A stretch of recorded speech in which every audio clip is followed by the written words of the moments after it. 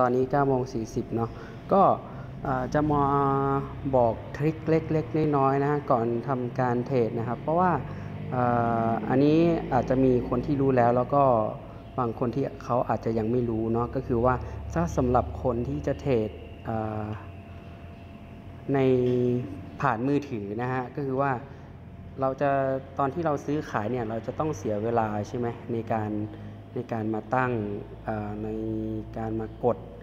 รหัสพินนะฮะ แต่ว่าตัวนี้เราจะมา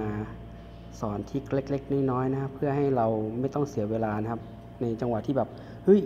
ราคามันกำลังไหลแล้วเรามาต้องมาใส่แบบพินเนี่ยมันก็จะทำให้เสียเวลานะทำให้แบบราคาที่เราตั้งไว้อาจจะไม่ได้ก็ได้นะฮะอ่าทริคนี้ก็ง่ายๆนะครับ เราก็เข้าไปที่ My Menu นะครับ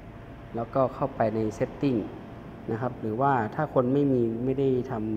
ำปักหมุดไว้เนี่ย ก็เข้าไปใน View More นะฮะแล้วก็เลื่อนหาคำว่า Setting ก็กดเข้าไป Setting นะครับ แล้วเราก็นี่นะเห็นไหมฮะคำว่า Save Pin แล้วก็มัน off อยู่นะ ปัจจุบันแล้วก็เปิด on แล้วก็ใส่ password เข้าไป ตึกตึกตึกตึกตึกของเรานะครับ ถ้าเราเสร็จสิ้นแล้ว ใส่ password ของเราเสร็จสิ้นแล้วก็เราก็ until log out or session expire นะครับ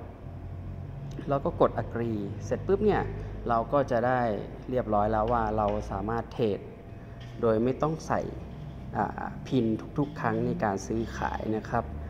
ก็ถ้าเพื่อนๆเห็นว่ามีประโยชน์ก็ฝากกดไลค์กดแชร์ให้กับเพจผมด้วยนะครับ สวัสดีครับ